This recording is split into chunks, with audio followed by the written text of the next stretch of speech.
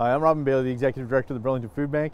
And uh, today we just really wanted to uh, thank the Burlington Fire Department. First off, congratulations to Karen Roche, the new fire chief here in Burlington. We're uh, really excited to hear that uh, Karen's been appointed to this position.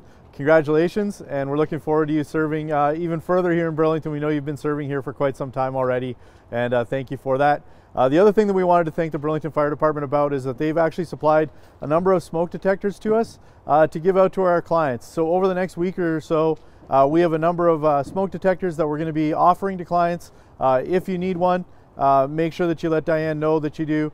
We only have a limited supply. There's not a lot of them, but there's enough for us to get them out to people that might need them. They're only good for those people that are replacing a battery operated one, not hardwired. And remember that it's really important for, uh, for all of us to stay safe that way. If you have hardwired uh, smoke detectors, make sure you replace them with hardwired, not with battery operated. Uh, again, we want to thank the Burlington Fire Department. Also, Burlington Public Library does some drives for us, and a number of other uh, Burlington institutions that really support us throughout the year. And we want to thank all of them for the tremendous work that they do.